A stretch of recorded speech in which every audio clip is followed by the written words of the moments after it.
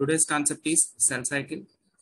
So in the cell cycle, we have to discuss about that different stages and different types of cell cycle we have to discuss. So let me ask one question. What is the necessity of cell cycle in the living organisms? సజీవుల్లో ఈ యొక్క cell cycle అనేది ఎందుకు చాలా ప్రాముఖ్యమైనది ఇందులో ముఖ్యంగా మనం observe చేసుకుంటే so we know that the continuation of life starts from the cell division. So if we observe in the reproduction concept, so we know that during the reproduction process here, what happened? First of all, both in male and the female, in the two parents, so the first, the cell division takes place, that is the meiosis cell division. So the meiosis cell division can take place in the reproductive organs of both males and the females then here coming to the next one after the reproduction sorry after the cell division here what happened both male and female organisms can produces a haploid set of cells that is called as a gametes. We know that the meaning of the haploid. Haploid means having a single set of chromosome in the cells. That is called as a haploid. If we observe any reproductive units, means any gametes, those can possess the haploid set of chromosomes, whether it is a male or female organism. Okay. Later here, what happened after the formation of gametes? These two gametes will fuses and forms a zygote. From the zygote, the zygote, it undergoes rapid cell divisions in order to grow in its size and later it is differentiated into the different body parts. So the same phenomena can observe in both eukaryotic organism and as well as a prokaryotic organism. That is the reason cell division it is a start of life. That is the reason we can consider the continuation of life starts from cell division. So cell division ఎందుకు మనం continuation of life starts అని అంటున్నామంటే అంటే ఇది ఎందుకంటే చాలా ప్రాముఖ్యమైనది అంటే ఈ యొక్క రిప్రొడక్టివ్ రిప్రొడక్షన్ ప్రాసెస్లో మనం చూసుకుంటే ఒక మేల్ అండ్ ఫీమేల్ ఆర్గానిజమ్స్ ఈ యొక్క రెండు రిప్రొడక్టివ్ ఆర్గానిజమ్స్లో ఏం జరుగుతుందంటే మనకి గ్యామ్టోజెన్సిస్ అనేది జరుగుతుంది. ఆ గ్యామ్టోజెన్సిస్ ప్రాసెస్ని మనం ఏమంటున్నామంటే గ్యామెట్ ఫార్మేషన్ అంటున్నాం. సో ఇక్కడ గ్యామెట్ ఫార్మేషన్ జరిగిన తర్వాత ఏమవుతుంది? అసలు గ్యామెట్ ఫార్మేషన్ ఎలా జరుగుతుందంటే అక్కడ ఉండే రిప్రొడక్టివ్ ఆర్గాన్స్లో అంటే like testes and the ovaries testis are the male reproductive organs in the males whereas the ovaries are the female reproductive organs so ఆ టెస్టిస్లోని అట్ ద సేమ్ టైం ఓవరీస్లో ఉండే సెల్స్ అనేవి సో మియాసిస్ సెల్ డివిజన్ జరిపి మనకి ఏంటంటే haploid set of సెల్స్ని produce చేస్తాయి. వాటిని మనం ఏమంటామంటే గ్యామెట్స్ అంటాం. ఇలా గ్యామెట్స్ ఫామ్ అయిన తర్వాత మనకి ఏం జరుగుతుంది? గ్యామెట్స్ ఫామ్ అయిన తర్వాత ఈ two gametes both male and female gametes అనేది ఫ్యూజన్ జరిగి మనకి ఏంటంటే ఒక జైగోట్ని ఏర్పడుతుంది తర్వాత ఈ జైగోట్ అనేది ఇది చాలా సెల్ డివిజన్స్ జరిపి సో మనకి ఏంటంటే ఎంబ్రియోగా మారుతుంది. So later the embryo it differentiates in different body parts and finally the whole organism will be developed from the single cell that is called embryo so embryo నుంచి మనకి ఒక organism అనేది develop కావాలంటే ఏం కావాలంటే మనకి ఈ సెల్ డివిజన్ అనేది చాలా ఇంపార్టెంట్ అందుకనే ఏమంటున్నామంటే the continuation of life starts from the cell division so cell డివిజన్లో మనకి ఏంటంటే సెల్ డివిజన్ ఏం చేస్తుందంటే మనకి లైఫ్ ఇనిషియేట్ అయిన తర్వాత ఆ లైఫ్ అనేది ఆ ప్రాసెస్ అంతా కంప్లీట్ కావాలంటే మనకి ఏం కావాలంటే సెల్ డివిజన్ కావాలి. Next in all organisms cell divide and forms a new cells so ప్రతి ఆర్గానిజమ్స్లో కూడా ఏమవుతుందంటే ఒక సెల్ అనేది అంటే ఎగ్జిస్టింగ్ ప్రీ ఎగ్జిస్టింగ్ సెల్ అనేది ఏమవుతుందంటే అది డివైడ్ అయ్యి మనకి న్యూ సెల్స్ని ఫామ్ చేస్తుంది. The process of cell division is same in all organisms no matter whether it is a eukaryotic organism or prokaryotic organism, whatever it may be. The process is same in all organisms. So ప్రతి organism లో కూడా ఈ cell division process అనేది ఒకేలా జరుగుతుంది next cell division and function is highly regulated for example if our finger is cut soon a blood clot is forms to stop bleeding so సాధారణంగా మనం observe చేసుకుంటాం. ఏంటంటే మనకి ఎక్కడైతే దెబ్బ తగులుతుందో ఆ ప్రాంతంలో ఏం జరుగుతుందంటే మన బాడీలో ఉన్న ఎస్పెషల్లీ బ్లడ్లో ఉన్న ఈ ప్లేట్లెట్స్ థ్రాంబోసైట్స్ ఉన్నాయి కదా ఈ థ్రాంబోసైట్స్ అనేవి ఏంటంటే those can accumulates means those can reaches at the site of injury ఎక్కడైతే దెబ్బ తగిలిందో ఆ ఇంజరీ పార్ట్కి ఈ యొక్క వైట్ బ్లడ్ సెల్స్ అంటే ఎస్పెషల్లీ సారీ థ్రాంబోసైట్స్ ఈ థ్రాంబోసైట్స్ అనేవి అక్కడికి రీచ్ అయ్యి అక్కడ ఏం చేస్తుందంటే మనకి సో బ్లడ్ క్లాటింగ్ని ఇనిషియేట్ చేస్తుంది. సో మీన్స్ అక్కడ ఏం జరుగుతుంది? ఒక ఫైబర్ ఒక ఫైబ్రస్ మెటీరియల్ ఫామ్ చేసి ఆ ఫైబ్రస్ మెటీరియల్ ఏం చేస్తుందంటే ఒక మెష్ లాగా తయారై అక్కడి నుంచి ఈ యొక్క సెల్స్ అనేవి at the same time blood అనేది బయటికి రిలీజ్ అవ్వకుండా దాన్ని స్టాప్ చేస్తుంది. ఓకే సో అందుకనే cell division and function is highly regulated so మనం అక్కడ అబ్జర్వ్ చేసాం. ఎలా బ్లడ్ క్లాట్ అవుతుంది? ఆ ప్రాసెస్ అంతా కూడా చాలా ఆర్గనైజ్డ్గా జరుగుతుంది. Next then the cells divide and heal the wound so అక్కడ ఏమవుతుంది? అక్కడ ఉండే ఆ సైట్ ఆఫ్ ఇంజరీలో ఉండే సెల్స్ అన్ని కూడా డివైడ్ అయిన తర్వాత అంటే ఆఫ్టర్ బ్లడ్ క్లాటింగ్ తర్వాత ఏం జరగాలి? ఎక్కడైతే మనకి దెబ్బ తగిలిందో ఆ ప్రాంతం అంతా కూడా మళ్ళా సీలింగ్ అనేది జరగాలి. సీలింగ్ అంటే మళ్ళీ న్యూ సెల్స్తో ఫామ్ అయ్యి అక్కడ అది కంప్లీట్గా సీల్ అనేది జరగాలి.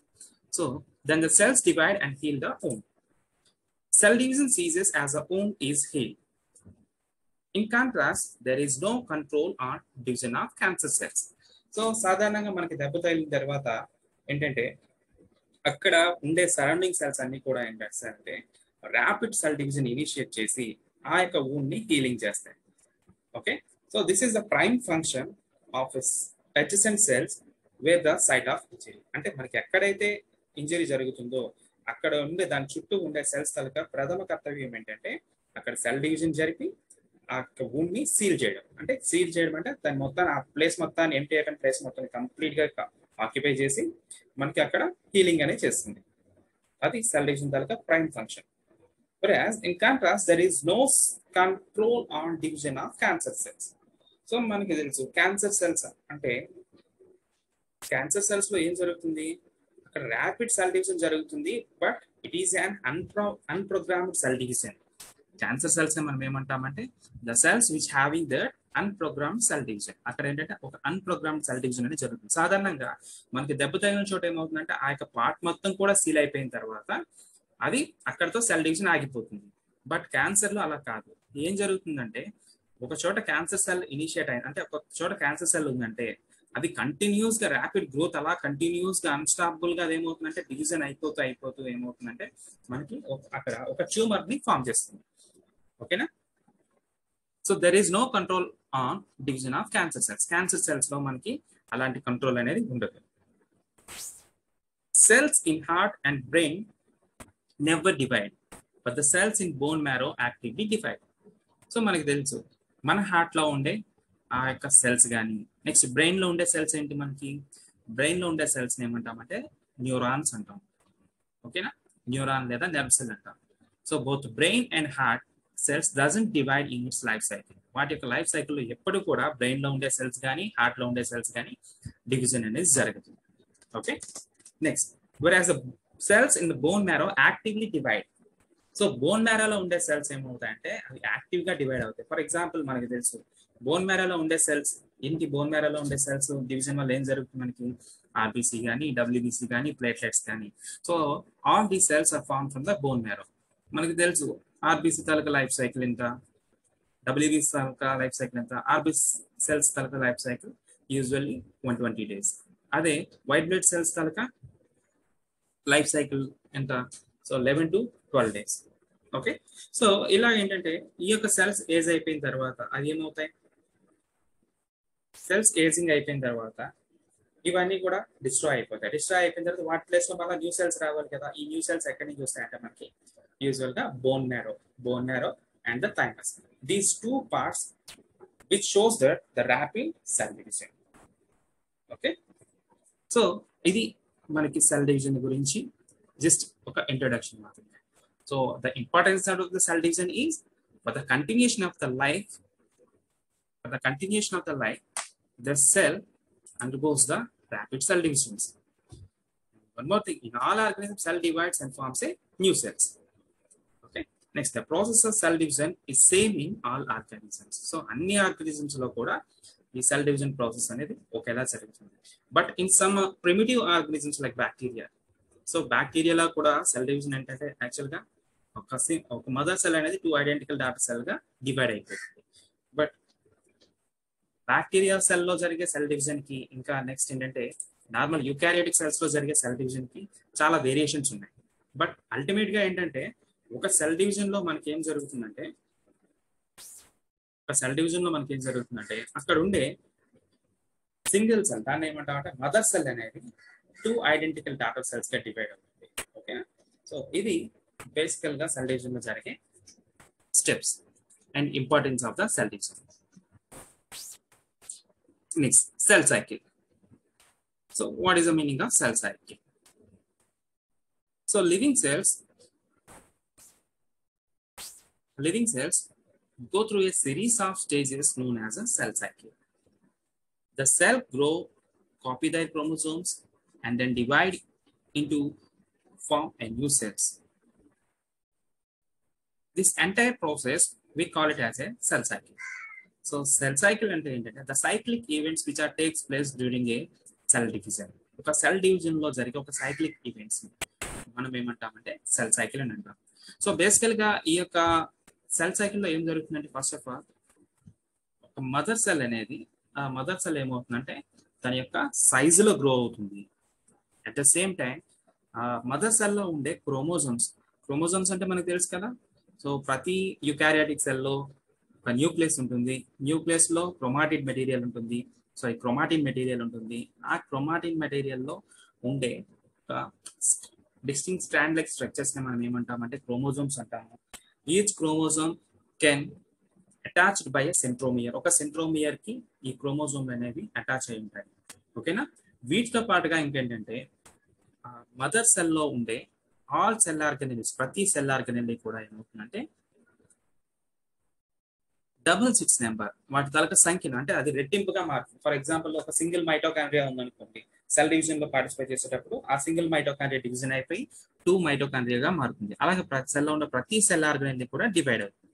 Okay so for this it takes forty to sixty sixty minutes so ఈ ప్రాసెస్ అంతా కూడా అంటే doubling the cell size sorry increasing the cell size doubling the chromosomes at the same time doubling the number of cell organelles so ఇది అంతా process కూడా జరిగిన తర్వాత the mother cell it divides to two identical daughter cells అది two identical daughter సెల్స్గా divide అవడానికి.